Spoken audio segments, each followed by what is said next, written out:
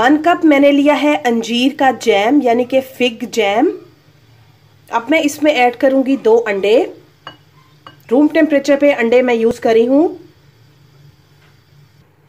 अब हम इसको हैंड विस्क की हेल्प से अच्छे से मिक्स कर लेंगे।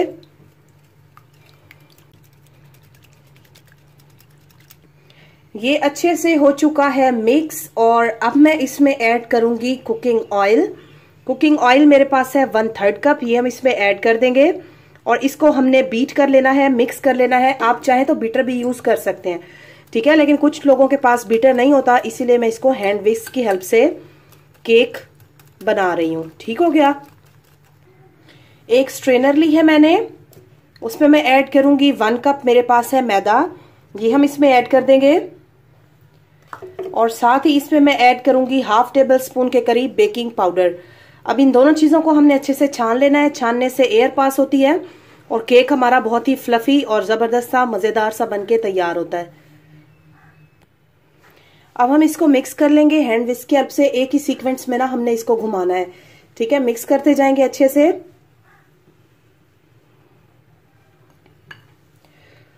और वन फोर्थ कप के करीब मेरे पास है दूध, गर्म दूध है। ये हम इसमें ऐड कर देंगे। और स्मूथ सा हमने लम्स फ्री बैटर जो है ना वो रेडी कर लेना है। ठीक हो गया?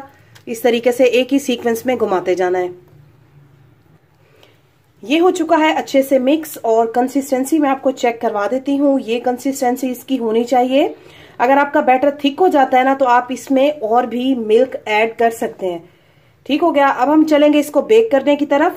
एक केक मोल्ड लिया है मैंने। आप किसी भी शेप का केक मोल्ड ले सकते हैं। ठीक है? ऑयल की ग्रीसिंग करके इसमें मैंने बटर पेपर लगा दिया है। अगेन ऑयल से ग्रीस कर अगर आपके पास बटर पेपर नहीं है तो आप ऑयलिंग करके इसमें सिंपल मैदा भी डस्ट कर सकते हैं। अब हमने जो बैटर रेडी किया था केक का वो हम इसमें ट्रांसफ़र कर देंगे। इस तरीके से।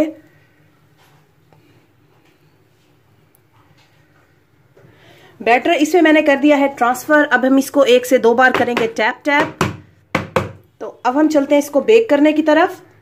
एक कढ़ाई ली है मैंने, उसमें मैं जाली का स्टैंड यूज़ करी हूँ। अगर आपके पास जाली का स्टैंड नहीं है तो आप इसमें सिंपल स्टील या सिल्वर की कोई कटोरी या थाली टाइप चीज़ भी रख सकते हैं। दस मिनट पहले इसको मैंने मीडियम फ्लेम पे प्री हीट होने के लिए रख दिया था। अब हम अपना बैटर जो है, इसमें ट्रांसफ़र कर देंगे और इसको कवर करके हम बेक होने देंगे 30 से 40 मिनट के लिए बिल्कुल लो फ्लेम पे। 40 मिनट हो चुके हैं तकरीबन। अब हम चेक करेंगे।